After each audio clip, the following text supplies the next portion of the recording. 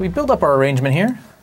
Um, we're mostly, I'm going to set up a loop. Actually, a good thing to do is to try and find a section of the song that has everything playing at once. And then we can kind of go through. You want to find the most complex parts. That's really going to help you as you start to piece it together. So I'll just set up a uh, loop here.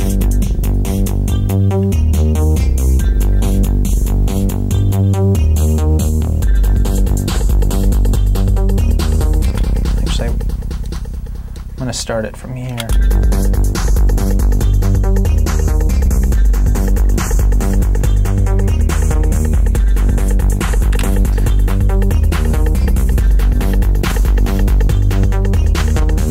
So I'm going to go ahead and solo some of these sounds. There's our drum track. There's our bass. So these two of go in tandem together.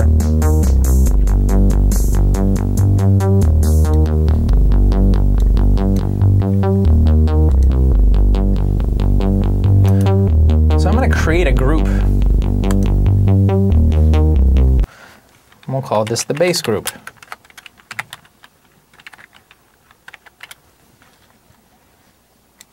Right now it's got everything in it, so we don't want that. I'm going to select and remove them all. We'll grab our uh, RY30 and our instrument.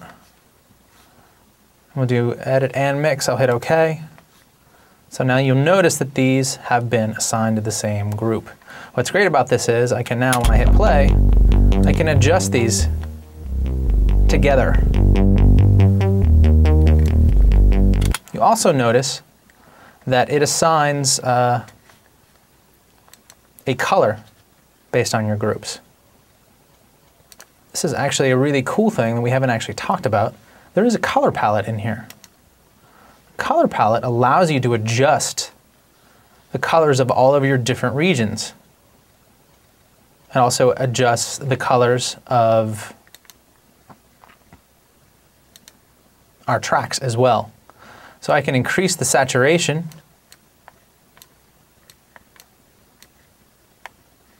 and the brightness. So I engage the color. So as you can see, audio tracks are colored differently. The um, and we can even do it by group, however you want to organize it. But this definitely changes your mix view. So now it's really simple. I can see all of my audio instruments, my audio tracks, my aux sends, and of course my master bus right here. Uh, if I switch back to my edit page, you'll notice that my tracks have now even been, uh, on my arrangement page, are now clearly defined as the color we've been working on.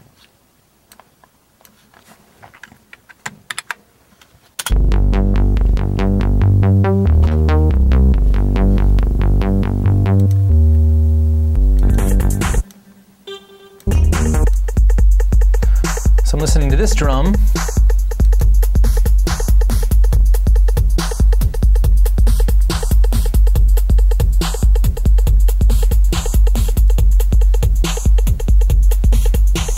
This is going to be my main drum loop. So I want to make sure that everything else that I'm working with doesn't conflict with this drum loop. This has a lot of low end energy that's going to conflict with this. It's really important to think about where your low end comes from. Low end frequencies are huge. 30 hertz, think of it like 30 feet in order for that waveform to complete itself. They're massive, they're, and uh, depending on the amplitude.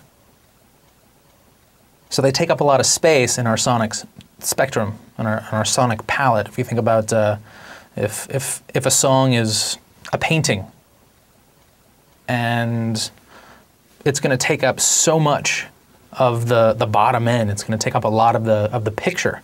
So what we can do is use equal equalizers to remove a lot of that information. So what I'm going to do is uh, get under my EQs. I'm going to grab a 7-band EQ. And what I tend to use is a high-pass filter. which is right here. We'll need to turn it on. And what you'll notice when we have our high pass filter is that it basically will remove any of the low end. It's a, it's a low cut filter or a high pass filter. It lets high frequencies pass through. So depending on where we set this, it will depend on, on uh, how much low end is removed. You also notice here we have uh, the octaves, depending on how extreme I set this. 12 decib uh, it's 12 dB per octave or 18 dB all the way up to 24 dB, which has a pretty drastic slope.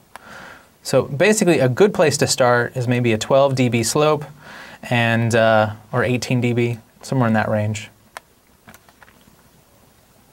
And I usually set it at about 120 hertz. Now I may have moved too much of that low end, so I'm going to bring it back a little bit. Now it doesn't make any sense for me to listen to this in context by itself. We need to listen to it in the context of the song, or at least with the other drum loops. Removing some of that low end, I can actually make it a little bit more present in the mix.